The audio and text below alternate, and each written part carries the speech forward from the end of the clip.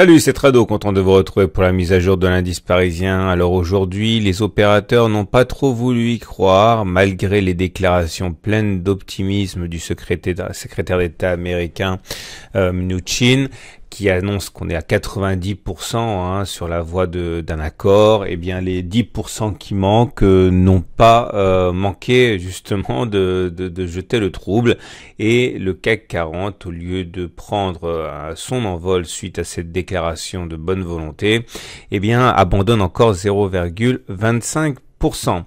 Alors regardez, c'est intéressant parce que nous étions soutenus ici hein, depuis notre progression hein, sur les supports par ce canal bleu qui euh, est travaillé de manière évidente et qui est en train de lâcher. Alors bon, il faut toujours attendre une petite confirmation, hein, puisque l'analyse technique n'est pas non plus une science exacte, mais euh, ça se joue sur l'épaisseur du trait. Il semble bien que le canal euh, bleu soit en train de lâcher suite au contact avec la résistance hebdomadaire ici, hein, maintes fois repérée par tous les analystes techniques, hein, qui a donc finalement été intraitable. Alors, si on devait casser ce, ce canal bleu, deux choses. La première des choses, c'est qu'il existe une euh, une règle hein, en analyse technique qui dit que lorsque l'on casse euh, un canal, l'objectif est déterminé par la, le report de la hauteur de ce canal par-delà le point de cassure, ce qui voudrait dire aller chercher un contact hein, sur euh, cette parallèle bleue ici,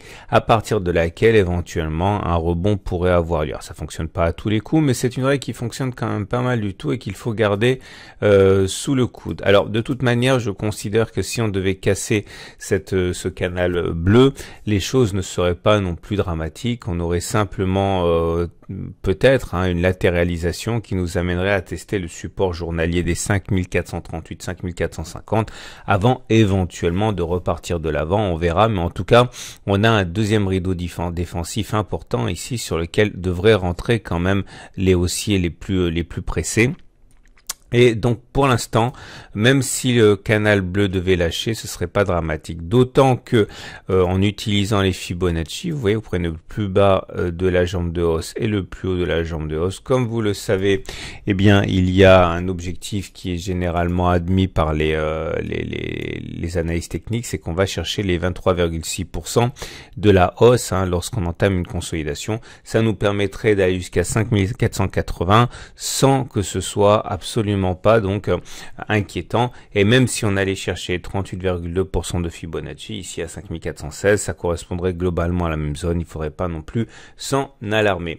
En tout cas, on n'est plus très loin d'un gain pour ceux qui ont tenté le trade baissier. Je vous rappelle que l'idée c'était de spéculer à la baisse une fois que l'on avait eu cette bougie là en mettant un stop au-dessus de cette bougie et en visant les 23,6%, bon, je ne sais pas si on va y aller, mais en tout cas, si on y va, ce sera une décision euh, gagnante pour ceux qui ont pris ce trade baissier. Par contre, je vous expliquerai comment certains vont attaquer à la hausse les indices hein, lorsqu'on aura cherché, lorsqu'on ira chercher éventuellement les 23,6% euh, de Fibonacci. On enchaîne avec les indicateurs techniques. Euh, comme vous le savez, satisfait site pour les bandes de Bollinger qui nous ont permis de hum, d'anticiper l'évolution des cours avec le setup Tradobull, on a beaucoup parlé, je vais pas y revenir. En tout cas, la M7 a été touchée. Le problème, c'est que la M7, qui était support théorique, euh, vient de lâcher également. Et euh, bon, si jamais la M7 devenait descendante, si ça pente devait devenir négative, elle deviendrait résistance. Et dans ce cas, hein, ça, ça militerait pour une accentuation de la baisse. Pour l'instant, ce n'est qu'un support qui lâche, mais le signal est quand même assez, euh, assez pernicieux. Vous remarquerez également que la tendance est toujours haussière puisque nous sommes au-dessus de la M20 qui monte. Euh, pour terminer, j'ai oublié d'en parler Regardez la forme du chandelier japonais du jour, qui est un vilain chandelier, puisqu'on termine sur le tiers baissier, dans le tiers baissier, avec une longue mèche qui montre que les haussiers n'ont absolument pas réussi à tenir les plus hauts. C'est une bougie qui invite à considérer également des plus bas. Tout ça semble nous amener vers les 23,6%. Hein. Euh, pour euh, pour clore avec les Bollinger, regardez la Bollinger supérieure qui monte et la Bollinger inférieure qui monte aussi.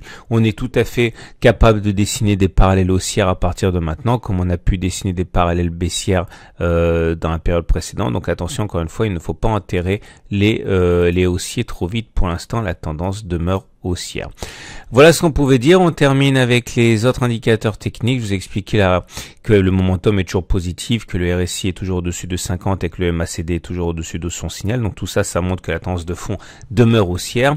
Mais les indicateurs techniques rapides sont, sont baissiers maintenant. Le stochastique a croisé son signal, le MACD 0 aussi, et le CCI sort de sa zone de surachat. Bon, c'est pas baissier, hein, mais ce sont des signaux qui montrent quand même. Euh, bah, si c'est baissier pour le, le, le MACD 0 et le stochastique Hein, et le, CCI qui, qui donne son signal baissier en sortant de sa zone de surachat montre que euh, les indicateurs lents vont être attaqués hein, par le cycle baissier des indicateurs rapides. Il faut pas que cette contagion euh, perdure trop car euh, si les indicateurs lents devaient basculer baissier aussi, hein, on aurait du mal à éviter une consolidation plus marquée. Mais pour l'instant, on va dire avantage euh, au baissier, mais euh, les, haussiers tiennent, toujours la tendance. Hein.